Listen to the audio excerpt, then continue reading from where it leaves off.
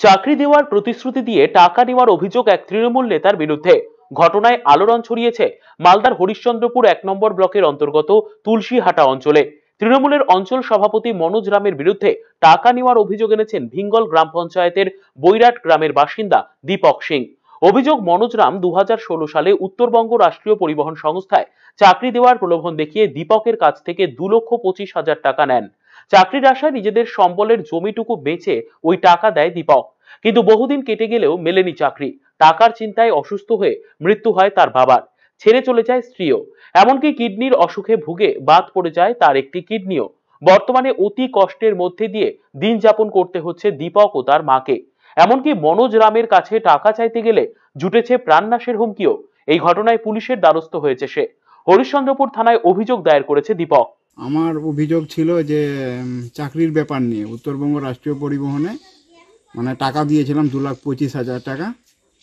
তার মধ্যে আমি পাইনি, আমার চাকরিও হয়নি, টাকাও ফেরত পাইনি। টাকাটা দিয়েছিলাম মনোজ রামকে। জমি টমি বিক্রি করে টাকা দিয়েছি। টাকা পয়সার জন্য আমার বউ ছেড়ে চলে যায়। হুম দিন মজুরি করে আমি কাজ করি। আমার শরীরে সমস্যা আছে একটা কিডনি নাই। টাকা দেওয়ার পর থেকে আমার বাবা অসুস্থ হয়ে যায়। অসুস্থ হওয়ার পরে টাকার শোকে আমার বাবা মারা যায়। আমি চাইছি যে আমার টাকাটা ফেরত ঘুরিয়ে দিক মনোজরাম এখন কমপ্লেন করেছি থানাতে। করা মারারও হুমকি দিচ্ছে ও। জানে মেরে দিবে এই এই কথাটা বলেছে আমাকে। অন্যদিকে গোটা ঘটনা নিয়ে শাসক দলের বিরোধিতায় সরব হয়েছে বিজেপি। আজকে যখন একটা গরিব মানুষ দু লক্ষ পঁচিশ হাজার টাকা নেওয়ার ব্যাপারে অভিযোগ করেছে।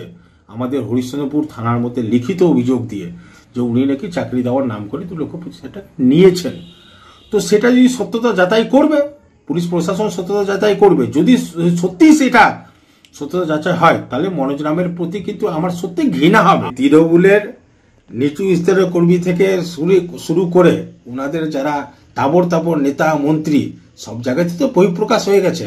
অন্যদিকে দল কোনো দুর্নীতিকে প্রশ্রয় দেয় না, অভিযোগ প্রমাণিত হলে খতিয়ে দেখার আশ্বাস তৃণমূল নেতা কৃষ্ণেন্দু নারায়ণ চৌধুরীর। দেখুন, কেউ যদি টাকা নেয়, কারও কাছে অসৎ উপায়ে টাকা নেয়, তার জন্য আইন আছে, সরকার আছে, সব আছে।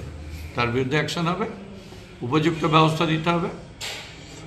পার্টি তো বলে দেয়নি যে চেয়ারে বসে লোকের কাছ থেকে লুটতরাজ করবা আর মানুষেরকে বিপদে ফেলবা তা না। একদম প্রপার অ্যাকশন হবে।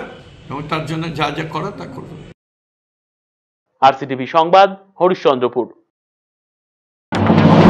সব খবর সবার আগে পেতে আমাদের ফেসবুক পেজটিকে লাইক এবং শেয়ার করুন।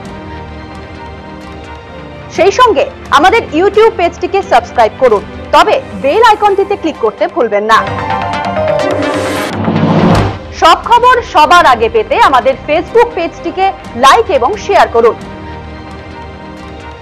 সেই সঙ্গে আমাদের ইউটিউব পেজটিকে সাবস্ক্রাইব করুন। তবে বেল আইকনটিতে ক্লিক করতে ভুলবেন না।